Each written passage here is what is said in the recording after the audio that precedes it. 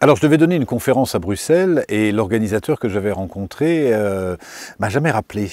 J'imagine qu'il a dû lire un de mes livres et ça se trouve, ça lui a pas plu et peut-être qu'il n'a pas osé me le dire. Aujourd'hui, nous allons parler du troisième accord Toltec.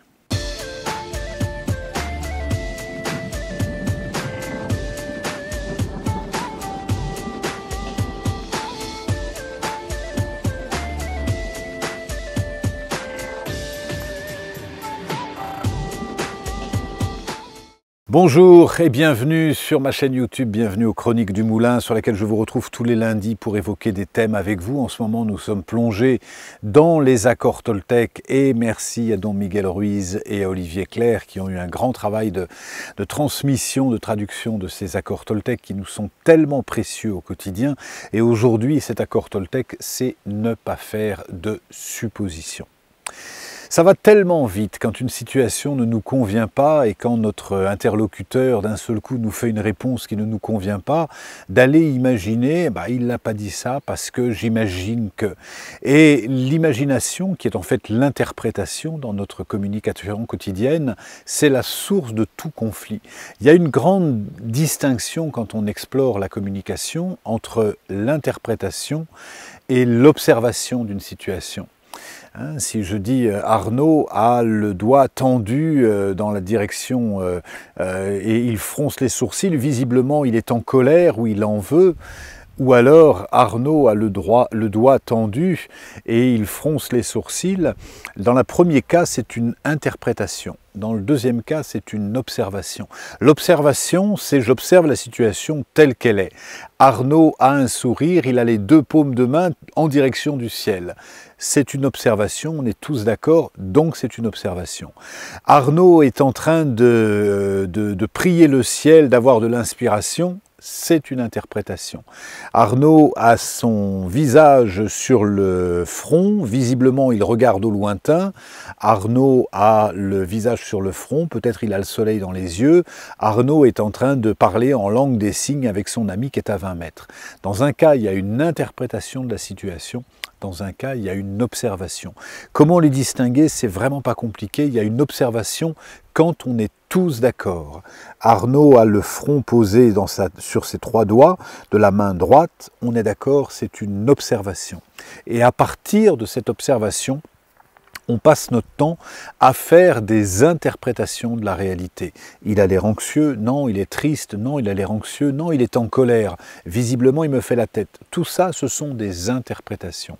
Et les conflits ont lieu parce qu'il y a une confusion entre l'interprétation et l'observation. Ah, il n'a pas répondu, il me fait la gueule, il est dans sa chambre.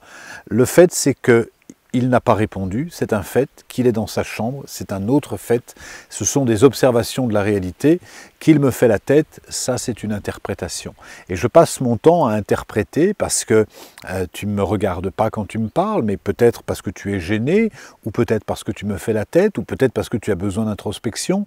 Et dans ce troisième accord Toltec qui vise à ne pas faire de suppositions, ça va être une chasse à l'interprétation, chez soi et chez l'autre. Et si vous vous observez, je vous encourage, tiens, je vous encourage cette semaine à faire la chasse aux interprétations. Au quotidien, quand vous voyez, tiens, cet euh, automobiliste m'est passé devant moi, visiblement, je ne connais pas les circonstances, peut-être il ne m'a pas vu, peut-être il accompagne sa femme enceinte à la clinique, peut-être, etc. Donc, plus je reste dans l'observation des faits, moins je suis dans l'interprétation et moins je fais de suppositions.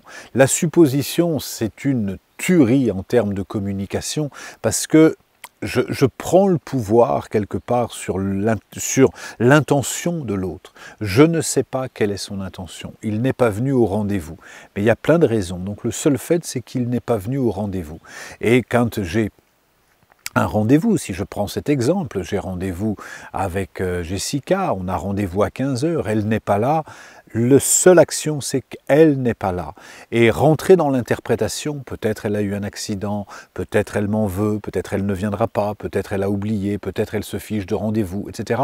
Ça ne fait que non seulement voiler la communication, mais ça euh, créer des conflits. Donc la proposition, ça va être vraiment pour honorer ce troisième accord Toltec, et puis là, je vous, c'est une invitation pour cette semaine à ne jamais rentrer dans l'interprétation, à ne pas faire de suppositions et à vérifier à vérifier avec l'autre.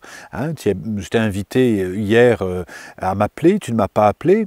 Est-ce que tu peux me dire pourquoi tu ne m'as pas appelé? Et puis laisser l'autre la liberté de sa réponse et entendre la liberté de la réponse de l'autre comme étant sa carte du monde, sa valeur à lui et sa réalité et sa liberté d'agir comme il le veut. C'est très très important parce que au-delà de ces quatre accords Pour avoir accompagné des groupes et des particuliers dans mon cabinet pendant des années, pour les, continuer à les accompagner, j'ai pu voir que l'essentiel des conflits sont des conflits de communication. On n'arrive pas à s'entendre parce qu'on passe notre temps à interpréter et à supposer. Et d'être attentif en restant factuel, factuel comment? En étant avec une observation de la réalité qui fait qu'on est tous d'accord. Et à partir de cette observation, plutôt que d'aller dans l'interprétation, on va aller dans son ressenti. On avait rendez-vous à 14h, tu m'avais promis de m'appeler à 14h, et tu ne m'as pas appelé à 14h, ça c'est un fait, on est d'accord avec ça, et plutôt que j'imagine que tu, allez en soi, ça m'inquiète, ça me rend triste et donc j'ai besoin de mettre de la clarté. Qu'est-ce qui fait que tu ne m'as pas appelé à 14 heures? Et en étant là aussi, en, acceptant la position de l'autre. Vous allez voir qu'en intégrant ces quatre accords Toltec, je ne parlerai que des quatre accords Toltec ici, j'entends déjà les commentaires, et qu'en est-il du cinquième accord Toltec? On ne l'évoquera pas ici, on restera sur les quatre accords Toltec, et on a vu ici le troisième, mais la semaine prochaine, si vous êtes là, on évoquera le quatrième.